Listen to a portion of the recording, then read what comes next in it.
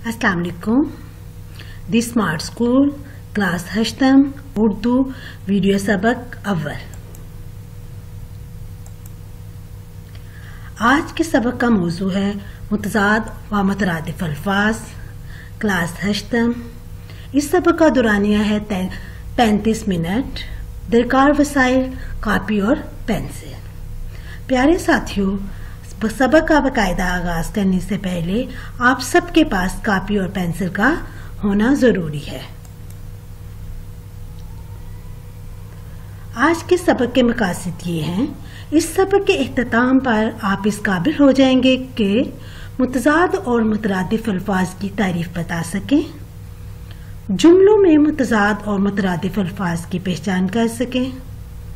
अल्फाज के मुतजाद व मुतरदफ अल्फाज लिख सके। मुतजाद व मुतरदफ अल्फाज की तारीफ़ हम जानेंगे।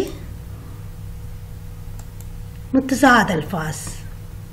ऐसे अल्फाज जो मायने के एतबार से एक दूसरे की जिद या उल्ट हों मुतजाद अल्फाज कहलाते हैं। मसलन आबाद वीरान। ये दोनों अल्फाज एक दूसरे की उल्ट मायने रखते हैं। इसी तरह बाखबर, बेखबर, उम्मीद, यास, ये ऐसे अल्फाज हैं जो एक दूसरे की जिद हैं।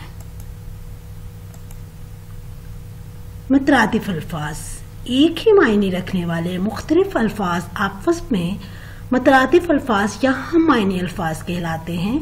मसलन, अमीर, मालदार। मालदार का मतलब भी अमीर है, यानी ये दोनों हम मायने अल्फाज हैं, बाग, चमन। इसी तरह हसीन और जमील। जमील का मतलब भी हसीन है। यानी ये तमाम अल्फाज आपस में हम मायने अल्फाज हैं। मतजाद और मुतरदफ अल्फाज की मजीद वजाहत के लिए हम दर्ज जुमले पढ़ेंगे। जल्द सोना और जल्द जागना सेहत के लिए मुफीद है। हमें दूसरों की मुश्किल आसान करनी चाहिए। अब बच्चों, आप हद कशीदा अल्फाज पर गौर कीजिए। हद कशीदा अल्फाज सोना और जागना। ये ऐसे अल्फाज हैं जो एक दूसरे के उल्ट मायने रखते हैं। इसी तरह मुश्किल और आसान। मुश्किल और आसान, ये भी ऐसे अल्फाज हैं जो कि एक दूसरे की जिद है। यानी इन जुमलों में मुतजाद अल्फाज का इस्तेमाल किया गया है। अब हम हिस्सा बे के जुमले पढ़ेंगे। हमें जोको शौक से तालीम हासिल करनी चाहिए। मेहनत से कामयाबी व कामरानी मिलती है। अब आप खत कशीदा अल्फाज पे अगर गौर करें, जोको शोर, कामयाबी और कामरानी, ये ऐसे अल्फाज हैं जो कि एक जैसे मायने रखते हैं। यानी इन जुमलों में मुतरदफ अल्फाज का इस्तेमाल किया गया है। अब हम सरगर्मी नंबर एक हल करेंगे। सरगर्मी नंबर एक में आपको जुमले दिए गए हैं। आपने इन जुमलों में से मुतराद और मुतरदफ अल्फाज की निशानदेही करनी है। मसलन अक्सर हुक्मरान इकदार और इख्तियार का गलत इस्तेमाल करते हैं।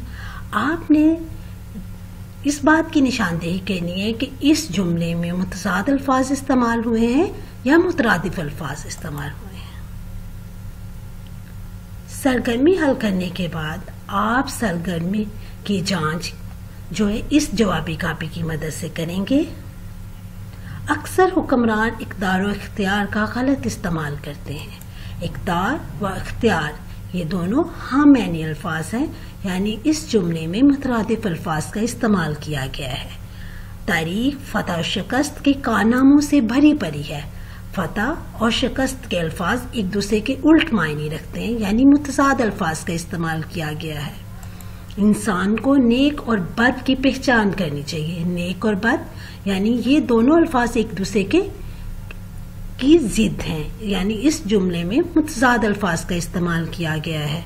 खबर की तायद और हमायत में बयान दिए गए। इस जुमले में मुतरदफ अल्फाज का इस्तेमाल किया गया है। हम में अल्लाह ताला की तारीफ़ और तसीफ बयान की जाती है। तसीफ का मायनी भी तारीफ़ है। यानी इस जुमले में मुतरदफ अल्फाज का इस्तेमाल किया गया है। हजूम में कवि और ज़यीफ लोग मौजूद हैं। कवि का मतलब क्या? ताकतवर और ज़यीफ कमज़ोर लोगों को कहा जाता है। यानी कवि और ज़यीफ, ये दोनों अल्फाज एक दूसरे की जिद हैं। यानी इस जुमले में मुतजाद अल्फाज का इस्तेमाल किया गया है। आपको गुमराह करने वाला शख्स आपका दोस्त नहीं, दुश्मन है। दोस्त और दुश्मन, यानी मुतजाद अल्फाज का इस्तेमाल किया गया है। सच्चाई इंसान को रफत और बुलंदी अदा करती है। रफकत का मतलब भी बुलंदी है। यानी इस जुमले में मुतरदफ अल्फाज का इस्तेमाल किया गया है। मुतरदफ और मुतजाद अल्फाज की मजीद मश्क के लिए आप सरगर्मी नंबर दो हासिल करेंगे। सरगर्मी नंबर दो में अल्फाज की एक फहरिस्त दी गई है। आपने इन अल्फाज के मुतजाद अल्फाज लिखने हैं और मुतरदफ अल्फाज लिखने हैं। मसलन, बखील का मुतजाद अल्फाज सखी और मुतरदफ अल्फाज कंजूस है। इसी तरह आपने बाकी तमाम अल्फाज के मुतराद, मुतजाद व मुतरदफ अल्फाज लिखने हैं। अब आप सरगर्मी की जाँच जवाबी की मदद से कीजिए।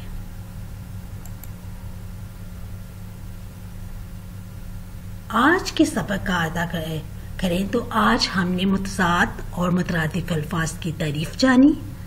आपने जुमलों में मतजाद और मतरादिफ अल्फाज की पहचान की। और अल्फाज के मतजाद और मतरादिफ अल्फाज लिखे।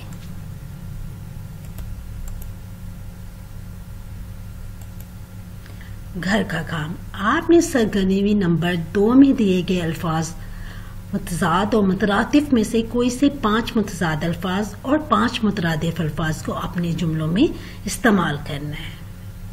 यकीन आज के सबक से आपने बहुत कुछ सीखा होगा।